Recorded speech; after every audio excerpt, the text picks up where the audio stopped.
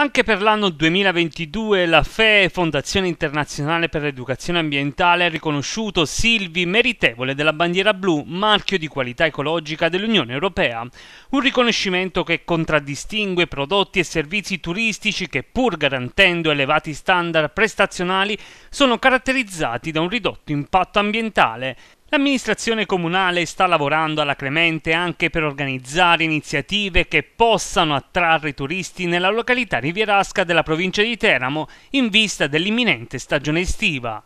Sicuramente un importante successo, questa amministrazione è il quarto anno consecutivo che prende la bandiera blu, siamo felicissimi del traguardo raggiunto e soprattutto perché quest'anno eh, tutte le sette sorelle hanno preso questo traguardo e dunque è un, veramente un, un ottimo risultato. Si spera in un'estate di ripresa per le attività turistiche con il comune che al lavoro per chiudere il prima possibile i lavori di messa in sicurezza della costa sud e ripascimento nei punti fortemente erosi dalle mareggiate.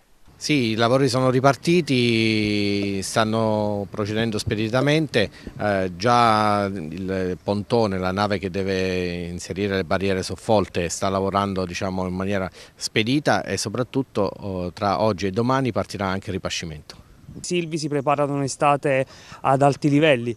Abbiamo avuto qualche difficoltà con il bilancio, siamo andati un pochino diciamo, più in là, però sta partendo tutto, stanno partendo gli asfalti, stiamo partendo con la manutenzione del decoro sulle aiuole, stiamo facendo veramente tutti i lavori che avevamo programmato e penso che quest'anno si possa avere una bellissima estate.